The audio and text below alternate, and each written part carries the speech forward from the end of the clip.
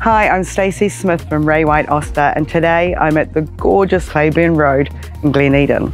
Now I was lucky enough to sell this to them three and a half years ago, but I can tell you right now, what's behind me didn't look like this then. They have put so much effort into making this house into a fun, cool, funky little home. I can't wait for you to see it. If you are first home buyers, you absolutely need to put this on your list. Come and have a look.